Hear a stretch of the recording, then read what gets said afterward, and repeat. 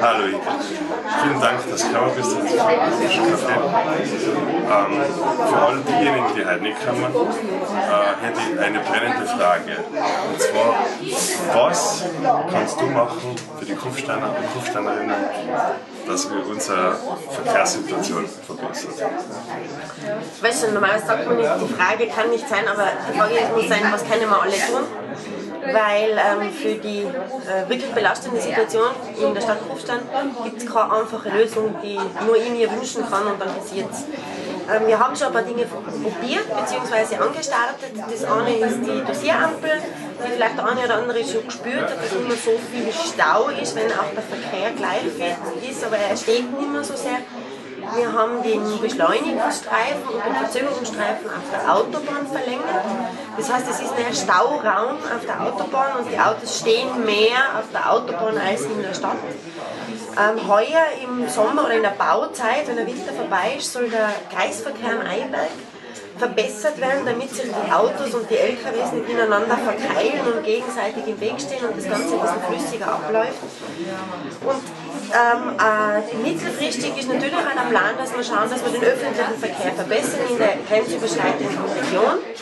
Und ich weiß, das sind alles viele kleine Bastelteile und dann hoffen wir, dass wir schon ein bisschen Entlastung zusammenbringen.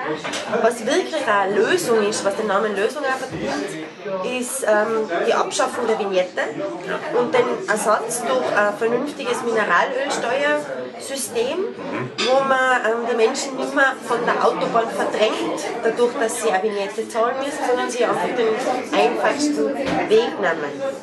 Und ganz, ganz langfristig wird es darum gehen, dass wir Menschlein uns daran gewöhnen, mehr mit dem öffentlichen Verkehr zu reisen, ähm, den Ganzen attraktivieren, für die Tirol natürlich auch günstiger machen und so dafür sorgen, dass wir nicht so viel in den Autos herumfahren, weil das ist eine Entwicklung, die natürlich immer stärker wird, vor allem im Freizeitverkehr. Ähm, und da müssen wir auch in den Köpfen der Menschen gegensteuern. Ja. Äh, Thema Mineralölsteuer, da leiten die Alarmglocken klar. Wie genau würde sich das auswirken? Wir haben gerade heute eine Klimaschutzreferentinnenkonferenz gehabt und darüber diskutiert. Ähm, das geht im Prinzip im, nur im Rahmen einer ökosozialen Steuerreform, wo man äh, danach trachtet, diejenigen, die quasi aus Jux und Dollerei in der Freizeit mit großen, dicken Autos gern durch die Gegend fahren, ähm, die müssen Steuer aufs Benzin oder auf den Diesel zahlen, ähm, einen bestimmten Steuersatz und kriegen dafür keine Entlastung. Das heißt, das Vergnügen ist ein bisschen teurer. Wenn aber jemand für die Arbeit ähm, das Auto braucht und weil es auch kein öffentliches Verkehrsmittel als Alternative gibt, dann braucht er eine neue Pendlerinnenpauschale. Ja. Das heißt, die müssen wir auch neu gestalten, aber dann kann man das fairer ausgleichen, dass diejenigen, die es nicht wirklich brauchen und trotzdem mit dem Auto fahren, die steuerbelastet sind und diejenigen, die, darauf verzichten oder auch die Möglichkeit haben, ähm, dass sie ähm, sich ökologisch bewegen, dass die entlastet werden. Und diejenigen, die nicht anders kennen, die dürfen nicht bestraft werden. Abgesehen davon reden wir ja von ähm, Centbeträgen. Da magst du mit der Vignette.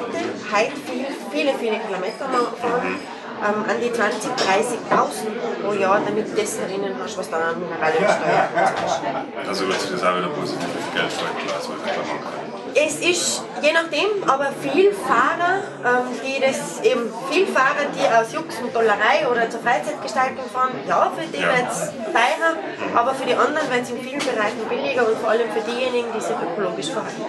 Sehr gut, super. Sage danke, Ingrid, und jetzt freuen wir uns schon aufs philosophische Kaffee. Sehr gerne.